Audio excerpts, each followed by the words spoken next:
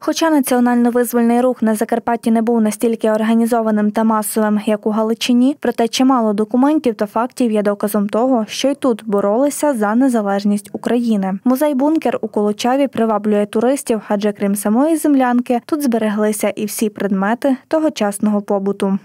Це воїни, е, які складалися з колочавців. Кількість їх е, становить 6 чоловік. Е, Ну, через певний час після того, як ця група організувалася, вони встановили зв'язок з українською повстанською армією Галичина, яка діяла на теренах е, Івано-Франківської, Львівської і Тернопільських областей.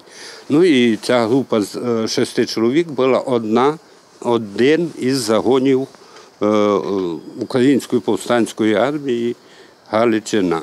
Детальніше про побут нам розповів краєзнавець. Зайшовши всередину, ми ніби потрапили в інший вимір і відчули по-справжньому спартанську атмосферу. У цій землянці знаходилось ліжка, знаходився стіл. Далі у землянці обов'язково знаходилась печка там на задньому плані, е, якою опалювалося це приміщення. Ну і заодно готувалася їжа на цій печці. У землянці був е, умивальник. Отут, бачите, миска підвішена на ланцюг. Е, Ну і обов'язково, оскільки вони проживали в зимовий період, е, протяжність проживання становила десь інколи 6 місяців, коли вони не виходили назовні, бо це було достатньо небезпечно для їхнього життя, то у землянці знаходився і туалет.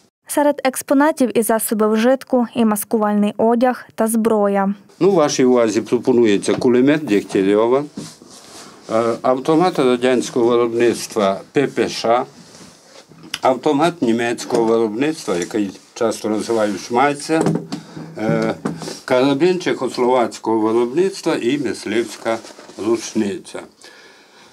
Е, Це була важка зброя, яку вони рідко коли носили з собою, тому що вони переміщалися, як правило, по вершинах полонин. Ну, основну зброю, яка була завжди з ними, це були пістолети типу ТТ і пістолети типу Нагана.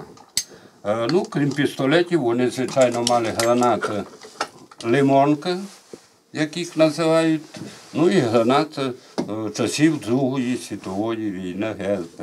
У музеї Бункерштаєра відображено умови проживання колочавських повстанців, зібрана зброя, обмундирування тих часів. Є фотографії повстанців та їхні патріотичні вірші. Згідно історичних фактів, ця група діяла на теренах Колочави з 1949 по 1957 роки. А метою їхньою було встановлення незалежності України.